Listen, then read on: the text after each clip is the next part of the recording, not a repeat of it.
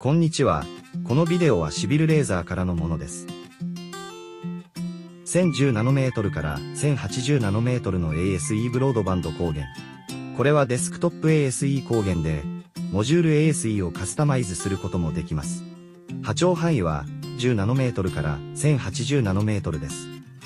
シングルモードファイバーが装備されています。出力は 20mW です。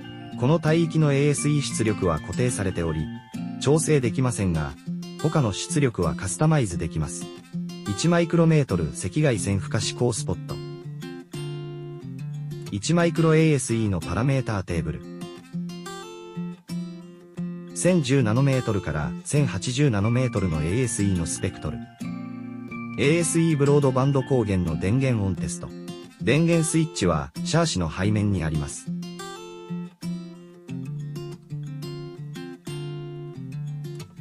シャーシ前面のキーをオンにすると、アクティブインジケーターが赤くなり、レーザーが出力を開始します。